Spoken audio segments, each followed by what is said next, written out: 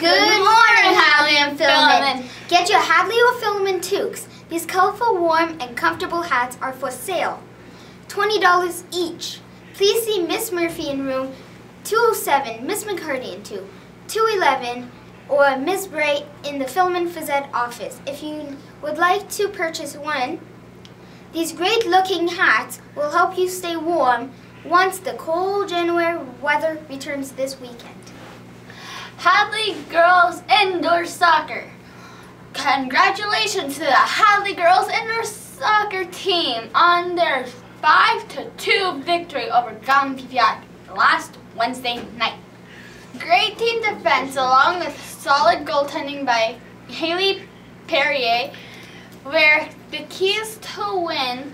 Abby Sharon scored a, another hat trick while Kiara Berry Deer and Paisley Skirich added another added one goal each. Glad, photo, glad photos will not be taken this week. Uh, they are being rescheduled on March, March 8th to the to 14th. There will be an online booking system in place. You will be receiving information from the graduation company by the middle of February. Please see Miss Morrison in room 12 123 if you have any questions.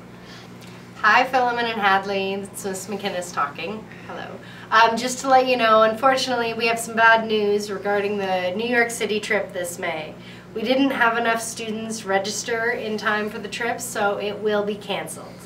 Anyone who did submit some money will be able to have it refunded 100%. Come and see me and I'll give you your money back. I'm in room 141. Thanks a lot. Bye.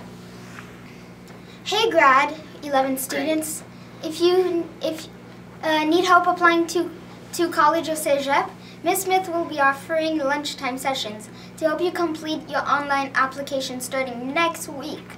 These sessions will be happening over Philemon lunch in room 253. Due to limited space, you might must sign up in advance in order to reserve your spot. The sign-up sheet will be found outside Ms. Smith's office. Don't delay. The deadline to apply to colleges in Ontario is February 1st. Add the deadlines for CEGEP is March 1st. Have a great day.